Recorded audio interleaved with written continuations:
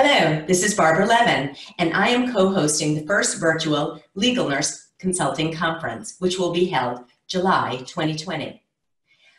I'm happy to welcome our guest, Mindy Cohen, who is a past president of the American Association of Legal Nurse Consultants and is the president of On Point LNC. She also has her LNCC credential, which is Legal Nurse Consulting credential. Welcome, Mindy. Hi, Barbara. How are you?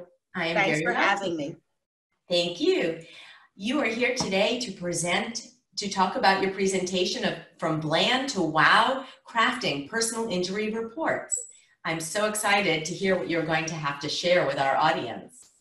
I'm looking forward to it. I have uh, 25 years of experience, and I'm hoping to share both what will make reports really stand out to attorneys and what traps and pitfalls to avoid that can lessen the impact of the reports that we want to give to our clients.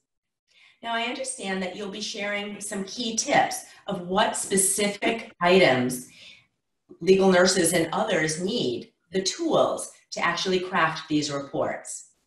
That's right, Barb. And it's going to start, I'm going to start at the very beginning for, of case intake and client expectations through what are the important records that we need to have, what to look for in those records, and even how to incorporate pain and suffering into your report in addition to the traditional damages that we think about of back injuries or neck injuries or sleep disturbance. So I think I think it'll be really comprehensive and very beneficial to our audience. These are all so important for the legal nurse and others to know.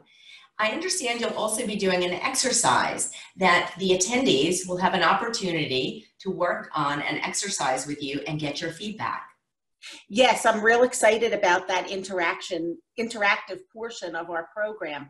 I developed a case study that was based on a real case of ours, and I'm going to present it to the group and actually have them think about from the very beginning of intake all the way through writing a report what questions they would need to ask what facts they would be looking to gather and what are some key concepts that they could put together. So they'll really have an opportunity to apply what we're talking about in the session to a real case and help help drill home some of the concepts we're going to go over that is excellent. I know that everyone will walk away with so many extra pearls of wisdom from your presentation. Thank you. My pleasure. I hope so. I'm looking forward to it. I encourage everyone to please sign up. Please see the link below lnc.tips forward slash July 2020. Virtual, no spaces. We look forward to seeing you. See you there.